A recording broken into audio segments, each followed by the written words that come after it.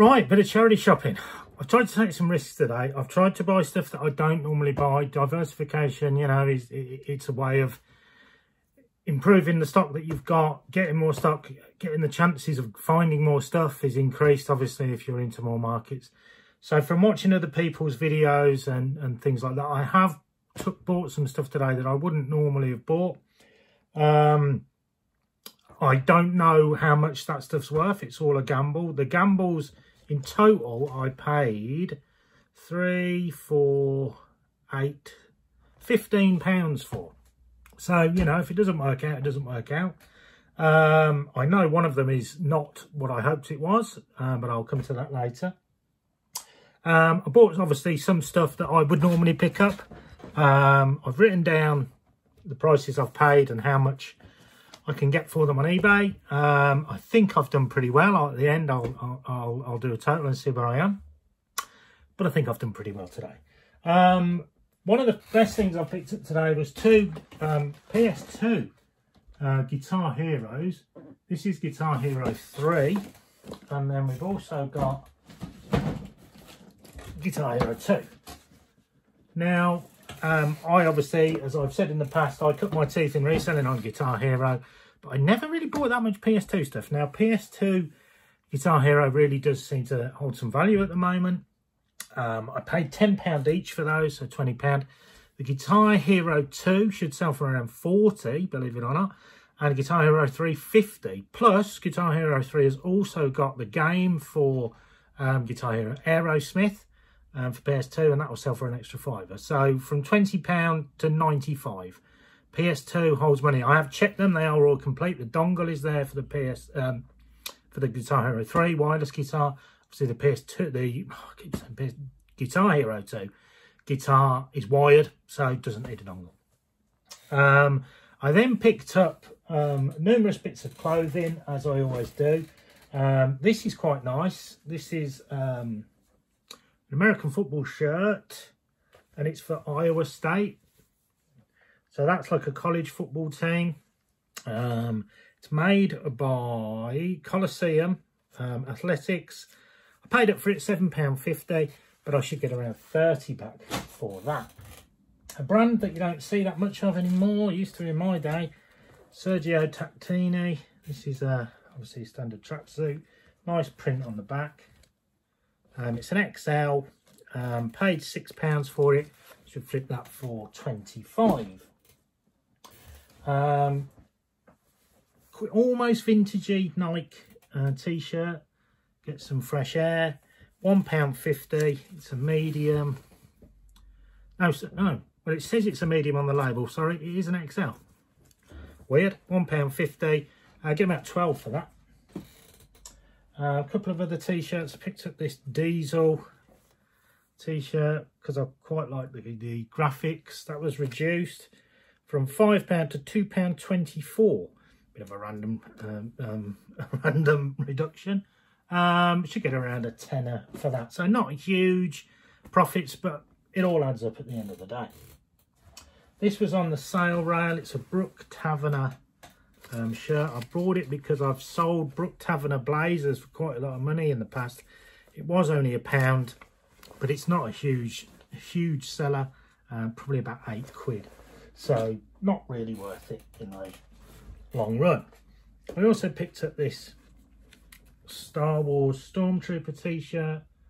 I'm surfing on there again because I liked it and again because it'll fit me. Um, that one was 4.99, probably about 10 to 12 on that one. Um, yeah, not too bad.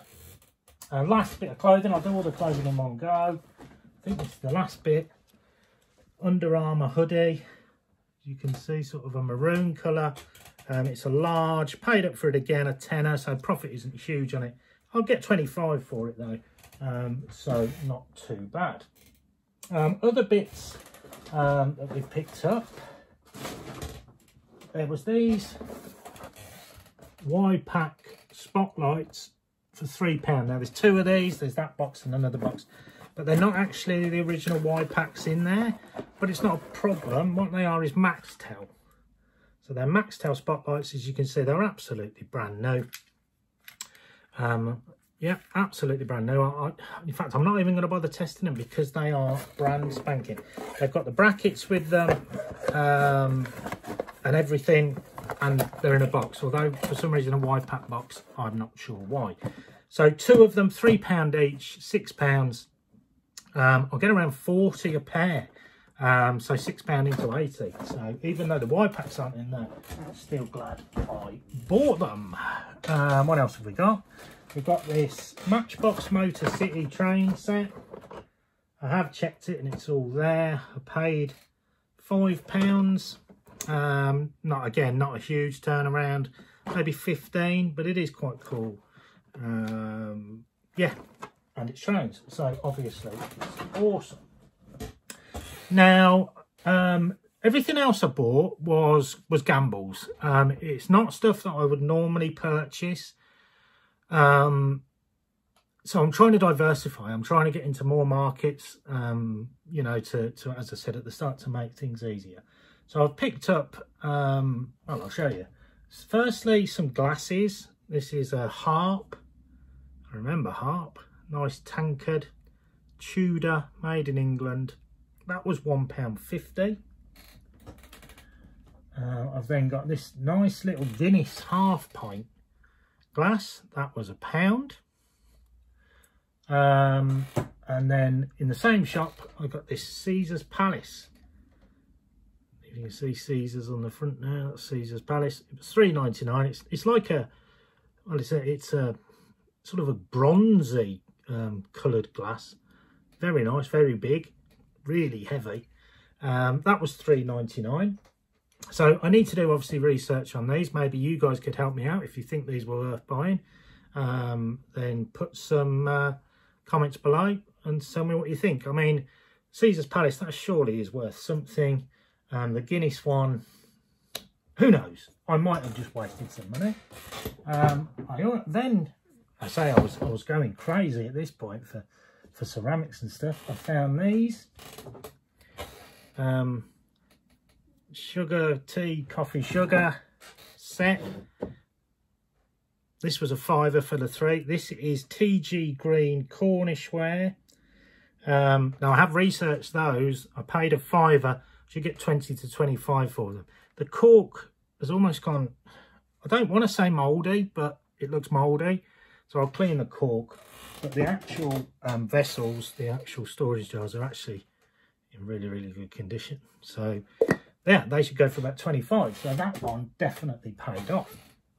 Um, next one is very random. It's this. It's some elephants carved out of a, well, I think it's a bone. It feels like bone, but it's probably wood. Could even be resin. It's definitely wood. Like a black, let's say African blackwood. And it's in the shape of a tusk.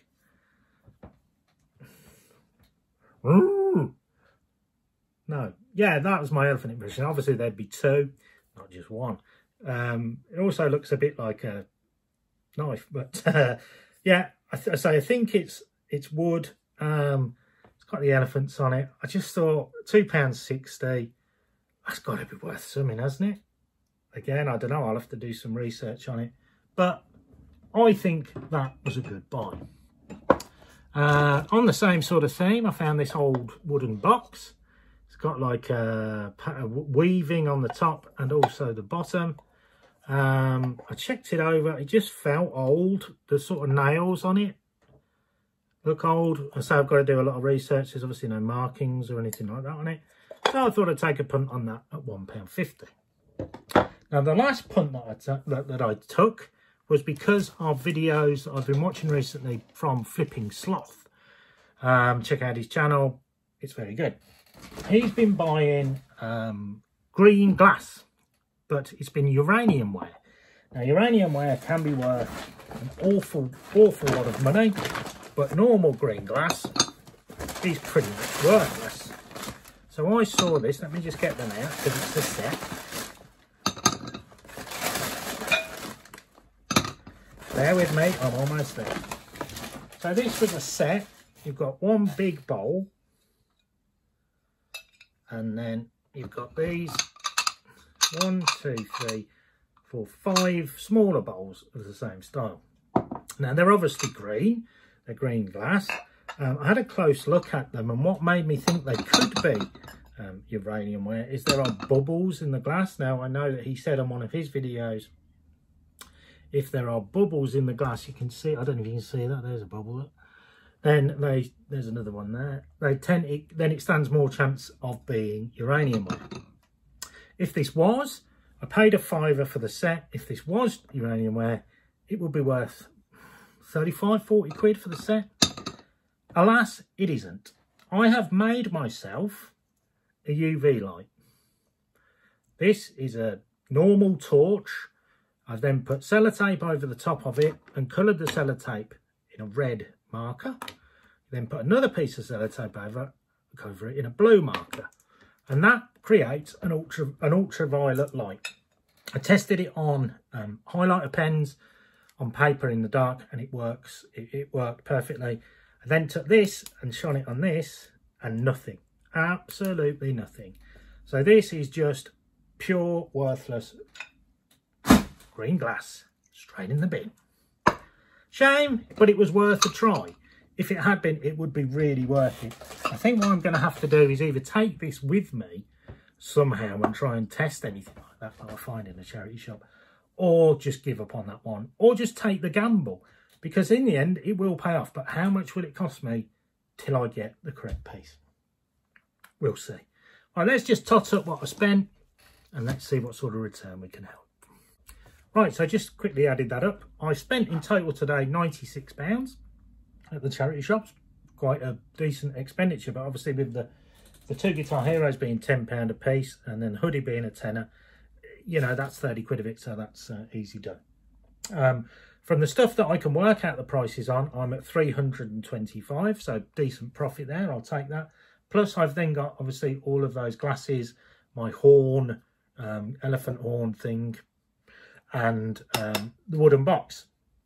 The green stuff's gone in the bin, so that's worthless. So that's five quid down the drain. But anyway, 325. So after fees, let's say 250 um, and postage. Um, take off the, the 96 pounds spent. So that's 150 pound pure profit plus the glassware and the wooden bits, which could be another 50 quid. Who knows? Um, you know, if that Caesar's Palace glass is worth 20 and the horn's worth 20, we're well away, but we'll see where we are. Um, so, yeah, took some gambles today, bought some decent stuff. Hopefully, the other stuff will lead to new markets for me and expansion. And this time next year, I'll be a millionaire. Um, I've heard that before somewhere. I don't know where. So there we go, guys. Hope that was of some use to somebody. Um, thanks for watching. Um, please like, please subscribe and comment below with if you would have got any idea on the glasses etc and um, see if I've either thrown money down the drain or if it is worth me pursuing these new markets. So yeah, thanks for watching guys as ever and I will see you again very soon.